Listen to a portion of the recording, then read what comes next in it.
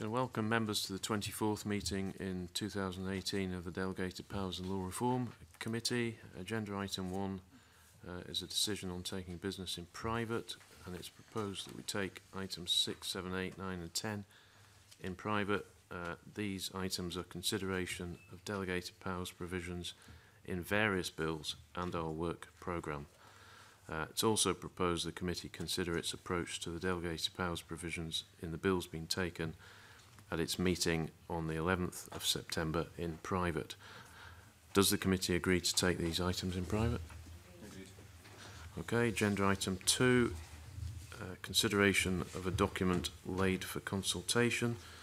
Uh, the Land Reform Scotland Act 2016 Register of Persons Holding a Controlled Interest in Land Scotland Regulations 2021 proposed draft regulations 2018-103 uh, and proposed explanatory document 2018-104.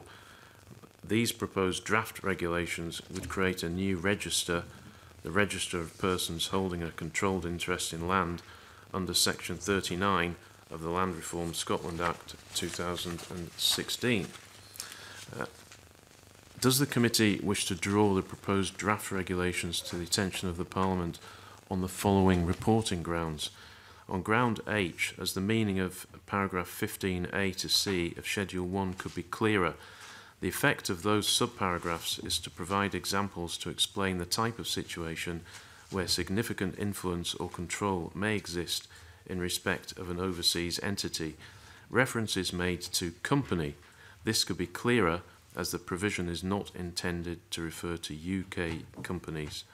Uh, and, or take that one first. Do you want, are you happy to? Right. And on the general ground, as there is an instance of drafting which is not gender neutral, draft regulation 7.1 refers to the keeper of the registers of Scotland as she. Does the committee wish to note that the Scottish Government has undertaken to correct those matters in the next version of the draft regulations which will be laid under section 40 of the Land Reform Scotland Act 2016. So um, do we uh, wish to draw the proposed draft regulation, which is not gender neutral, to the attention of Parliament? Yeah. Uh, and do we wish to note that the government has undertaken to correct the matters? Agreed. Okay. Gender item three, instruments uh, subject to affirmative procedure. Uh, no points have been raised on the draft Public Services Reform Poverty and Inequalities Commission Scotland Order 2018, the draft Public Bodies etc. Scotland Act 2003, Treatment of Poverty and Inequality Commission, and Scot Scottish Commission on Social Security as specified Authorities Order 2018 and the draft regulation of social housing influence of local authority Scotland regulations 2018. Is the committee content with these instruments? Uh, agenda item 4, consideration of instruments subject to negative procedure. Uh, the Council Tax Reduction Scotland Amendment Number 2 Regulations uh, SSI 2018 211. Uh, these make further amendments to the Council Tax Reduction Scotland Regulations 2012 uh, and the Council Tax Reduction State Pension Credit Scotland Regulations 2012, which are the principal uh, regulations. It's suggested by our legal advisers uh, that the regulations raise a devolution issue for the same reasons as were discussed by the committee previously when considering the principal regulations and subsequent amending instruments and that's to say that the regulations may relate to matters which are reserved by section F1 of part 2 of schedule 5 to the Scotland Act 1998 in relation to social security schemes. It's recognised that the Scottish Government takes a contrary view. Uh, an exception 10 has been inserted into the social security reservation on the regulations. This exception has given the Scottish Parliament powers to create benefit schemes in areas of devolved responsibility where the requirements of the exception are satisfied, including that the scheme must be funded from the Scottish Consolidated Fund. In relation to SSIs uh, 41 and 326 of 2017, the committee suggested to the Scottish Government that framing a new discrete scheme could avoid the committee's concern were that scheme to comply with the requirements of Exception 10.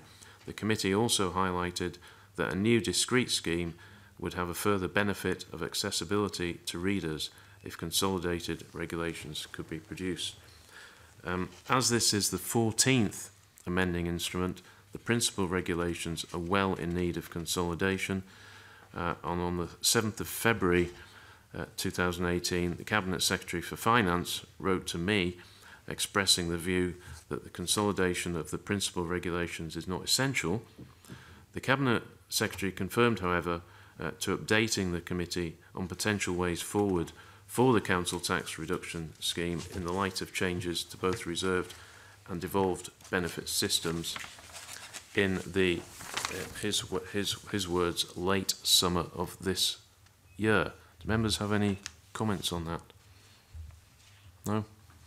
So Uh, does the committee wish to draw the regulations to the attention of Parliament on reporting ground F on the basis that they raise uh, a devolution issue?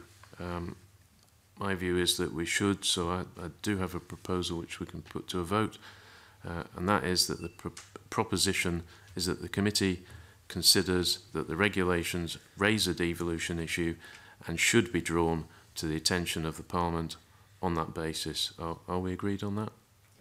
No. Okay, we'll put that to a vote. So um, all those in favour of that proposition, if you could show your hands. That's three. And those against? Three, two. Thank you for that. Um, Just want to see it's agreed to. Yeah, so that's, that's agreed. Uh, would the committee uh, also be content to write again to the Cabinet Secretary for Finance to obtain an update uh, in light of the earlier commitment? Okay, I'll do that. No points have been raised on SSIs 2018 196, 212, uh, 215, 216, 218, 245 and 256 and no points have been raised on SIs 781 and 841. Is the committee content with these instruments? Content. Okie doke. Agenda item 5, instruments not subject to any parliamentary procedure and no points have been raised on SSIs 2018, 229 and 253. Is the committee content with these instruments? Okay. I'll move the meeting into private session.